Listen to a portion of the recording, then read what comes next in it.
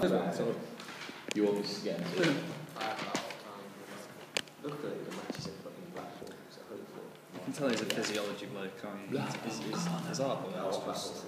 Okay, so within your introduction, like we spoke about last week, at the end of the day, you are comparing two things. You're looking at the effect of speed or the effect of gait type. Okay, so speed on running, lower extremity kinematics and ground reaction force, or the differences in gait type. So in your introduction, that's going to be a common theme. So don't talk about injuries or types of shoes, etc., etc. Keep focus on what you're looking at difference. You know, so and so found joint angles to do this between walking and running. Again, within your results, exactly the same thing. You're comparing two different things. So this is the ground reaction force, the FZ component, and you're comparing walking and running. So don't have a figure with all the ground reaction force running and one for walking, because the last thing the reader needs to do is flip between two different pages to kind of compare. So if you're comparing two things, you've got walking and running, this is the FZ component, you might do the same for the FY component, figure two. So again, with your, with your data, present it, comparing those two things, and ensure that you're using the right way to present it. So bar graph, need bar graph, a line graph, you need line graph. APA format, so as you can see, the background is completely white. There's nothing there, there's no horizontal lines. Look at the font. Look at APA in terms of the size of the font and the type of font, and just ensure throughout your lab report you are consistent. So each figure, the font size, whatever, the font type is this. Okay, if you're using bold for headings, be consistent throughout. might be, do, might be something you do at the end, or again, if you fill up you fill up your writing and everything, just go through your lab report and just kind of put things in bold, double check font, spacing, etc.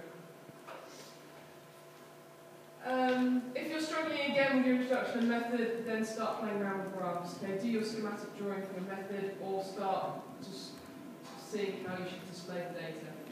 Okay? A lot to do with this assignment. That's why it's 50% of Biomechanics 1, and that's why we introduced it before Easter and I said get your introduction written during Easter. Okay, so there was a reason I said that. Uh, again, the figure goes below, and even if it's printed in colour, pretend even if it was in black and white that you can kind of see the difference between walking and running. So you've got a solid line for running, a dotted line for walking, and again the colour, one might be red, one might be yellow. That makes sense? Yeah. When you're looking at ground reaction, make sure that you can try and uh, start at the same point. Okay, so you don't want this dotted line kind of coming up here and that starting later, so try and time them the same, so you might have to cut the data just to ensure that both curves start at the same time. Again, you might want to use a table, so ensure that the type of the table is above table 1. If you've got figures, if you've got tables, which you will have, make sure you refer to them in the text. Okay, you've got to write as if, unless you put in brackets figure 1 or table 1 within the text, we are not going to look at that figure 1 or table 1. So everything's kind of got to be linked in together. Do you have to put it in inverted commas because we have read two different things? On the jab thing, it Yeah. says to do it, and then on something else I've read, it doesn't say. So JAB is Journal of Applied Biomechanics, and we Yeah. go by APA guidelines, Journal of Applied Psychology. But on Connors thing, it says refer to JAB for tables and figures. Then go with that link, whatever that Right, is. sound. Um, if not, get a journal that goes by those guidelines and just see how Just they do read it. it. Generally, if it's a figure or a table, just put in brackets and put figure one, this, and then display it like that. Sound. Uh, in your introduction, actually, looking at people's introductions today, don't directly quote someone, put it in kind of inverted commas. Try and put it into your own words, and then in brackets reference them. Because then it flows a bit better, otherwise you, you're kind of talking, and then you're directly quoting somebody else, and the introduction doesn't quite flow as well. So put it in your own words. If two people are pretty much the same, said the same thing, reference those two people. As you can see by this table, there are no vertical lines whatsoever. There are three horizontal lines, two at the top, one at the bottom. That's how it should look. Completely blank background, no lines. You've got your dependent variables. Ensure that you have the units of measurement there as well. Really simple, obvious stuff. But it's so easy to forget when you also think about writing your introduction and your discussion and doing your references. And sometimes people kind of forget the uh, formatting. Within the table, two different things, you've got a column for running and a column for walking. So don't do a table for running and a table for walking.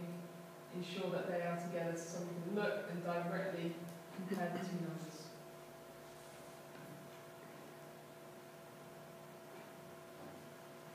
Okay, bar graph, similar, try and make sure that you've got spaces just because it's, it's easier to read. Look at shading, so obviously one's impact peak and one's active peak. It just makes it a lot clearer to the reader.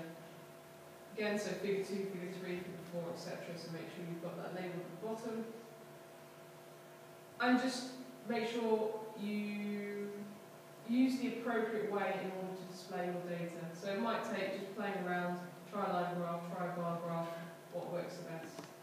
And work independently as well in terms of presenting data. So you can work together in, order to kind of compile the data, the digitising and ground reaction force, and then just go off separately and just figure it out yourself.